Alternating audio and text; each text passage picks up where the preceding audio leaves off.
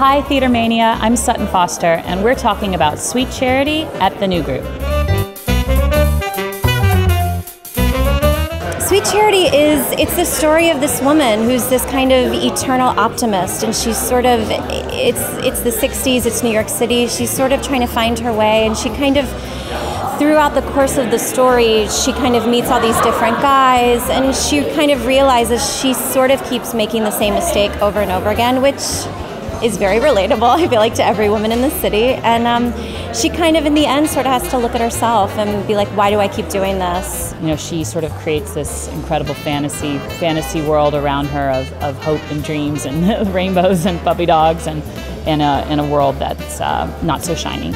I feel like we're trying to hold on to all the things that we know and love about Sweet Charity the heart, the comedy, the amazing music. Cy Coleman, Dorothy Fields, like what they did, so incredible.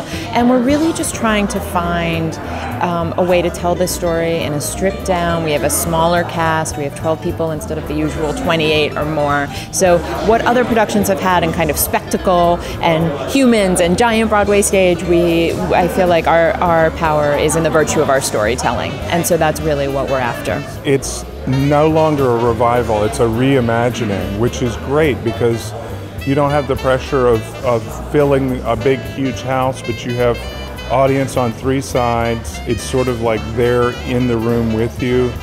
And so you can you can discover stuff that you wouldn't be able to do in a full-scale big house production. You know, we're, we're doing it in 200 seat theater it's incredibly intimate. Probably be the most, you know, vulnerable and exposed I've ever been on a stage because I'll literally be in people's laps. So there's nowhere to hide. I'll, my sweat will be like, you know, flopping in your face.